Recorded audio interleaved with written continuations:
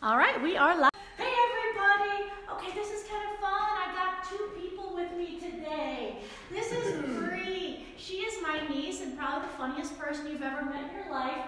And she lives alone, and Denver's on lockdown right now, so I'm like, no, you gotta come up and stay with us. So we got her for a while, and then, you know this guy, right? Here's Jeff. And um, anyway, he's gonna be here with us. No intro. Okay. I got up super early. I, I already been to the grocery store, but I haven't really had a cup of coffee yet, so cut me some slack. Oh, you haven't? I know, I got it's just going on the go.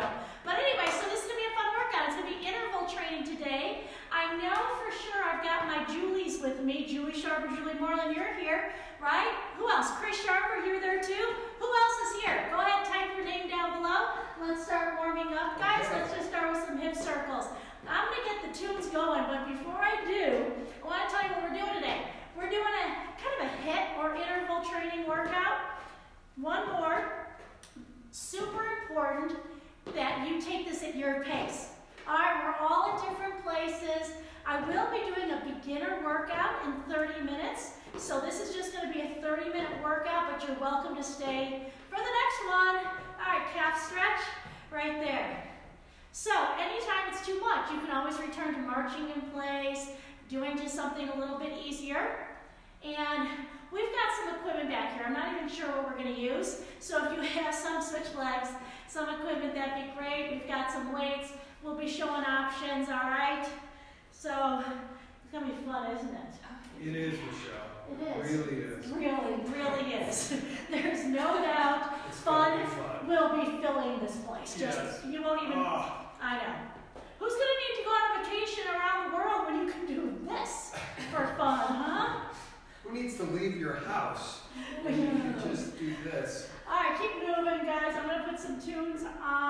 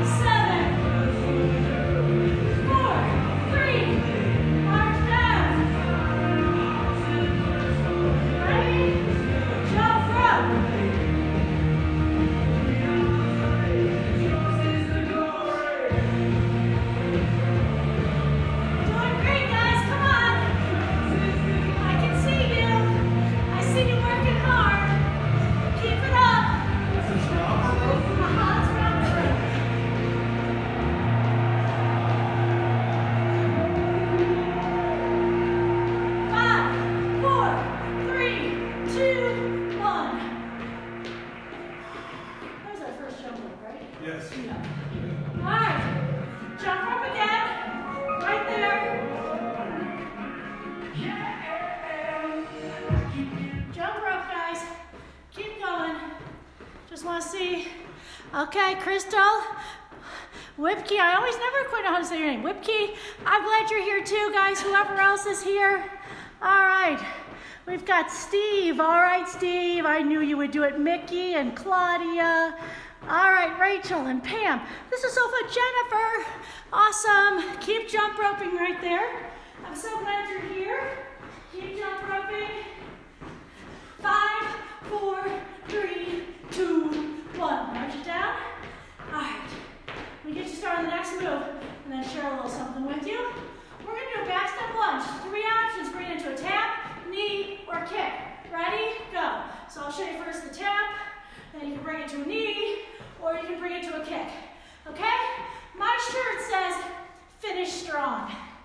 All right, here's what I want to just challenge you with.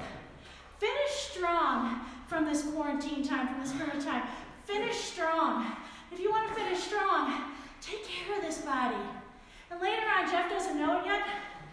He's going to share some things about how you can finish spiritually stronger. All right?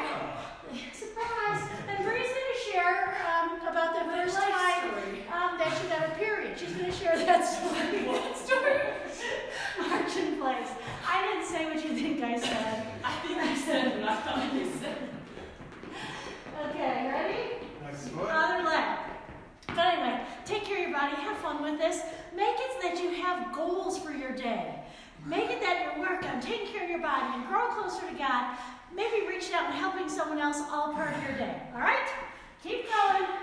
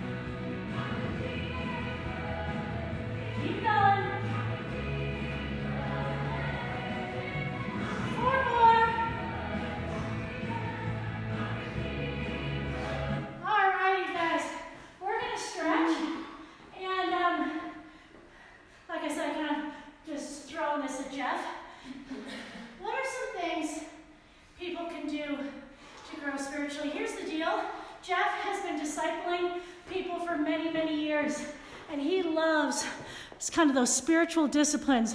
So, Jeff, if you want to just face forward Yeah. and even just not stretch or can stretch, whatever, he's now a multitasker. Yeah. So, don't feel like you have to stretch. No, I would, I would just say there, you know, A.W. Tozer said, if a person wants to know God, they just have to spend time with Him. It's just that simple. And so, what does that look like? Just face the camera. so you Oh, yeah, sure. So, what does that look like? You know, there's these traditional spiritual disciplines that many Christians today have just forgotten about, except for two read the Bible and pray. Um, but then the question is are you doing that enough? Those two things, and are you doing them, quote unquote, correctly so that it's fruitful? And so, but there are other disciplines fasting, worship, service, silence, solitude, that a lot of people don't use as a, as a way to connect to God. And here's the point this is not how you earn grace. This is just getting your mind and the heart in a place where you can receive grace. And for me, I'm kind of a words guy, so I just feel like really starting with Scripture and just basking in that is so key. Yesterday I had to drive, um, I had two 40 minute drives, and I just listened to Matthew 1 through 5 over and over about seven times. And it's just a way to just sort of just marinate your brain and your heart in the truth of what Christ is saying about Him and about God and the Holy Spirit. And that's And cool, just right there. Marinate your heart and your soul in the truth of God. Isn't I that mean- cool?